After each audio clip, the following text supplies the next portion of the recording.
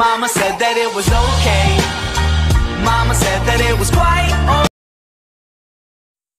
Hi all welcome to my channel voice of Telugu sweet blogs అందరూ బాగున్నారా?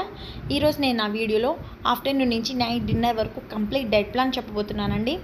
నా last వీడియోలో మార్నింగ్ రొటీన్ డైట్ ప్లాన్ చెప్పాను. ఎవరైనా చూడని వాళ్ళు ఉంటే డిస్క్రిప్షన్లో లింక్ ఇస్తాను. చూడండి ఆ వీడియో కంటిన్యూషన్ ఈ వీడియో ఆఫ్టర్నూన్ నుంచి నైట్ డిన్నర్ వరకు ఎంతెంత క్వాంటిటీలో ఫుడ్ తీసుకోవాలి? ఎలాంటి ఫుడ్ తీసుకుంటే మన డైట్కి చాలా యూజ్ఫుల్ ఉంటుందో ఈరోజు నా వీడియోలో చూస్తారు. ఆఫ్టర్నూన్ వచ్చి మ్యాక్సిమం ట్వెల్వ్ టు వన్ మధ్యలో మ్యాక్సిమం ఆఫ్టర్నూన్ లంచ్ కంప్లీట్ చేసుకోవాలండి. ఆ లంచ్లో ఏమేమి తీసుకోవాలి ఎంతెంత క్వాంటిటీలో తీసుకోవాలి అంటే ఒక కప్ రైస్ ఒక దాల్ అంటే ఓన్లీ రోజు దాలే తీసుకోవాలంటే మీకు ఇష్టం వచ్చిన కర్రీస్ తీసుకోండి. కానీ ఆయిల్ ఉప్పు కారం చాలా తక్కువ తీసుకోండి.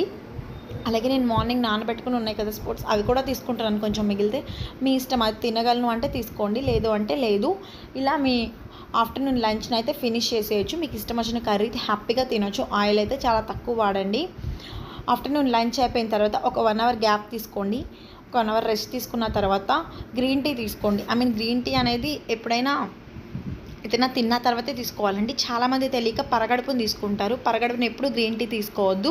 ఏదైనా తిన్న తర్వాత గ్రీన్ టీ తీసుకోండి. గ్రీన్ టీ అనేది చాలా హెల్త్కి మంచిది. డై డైట్లో ఉన్న వాళ్ళకి చాలా ఉపయోగపడుతుంది అనమాట గ్రీన్ టీ చాలా మంచిది హెల్త్కి.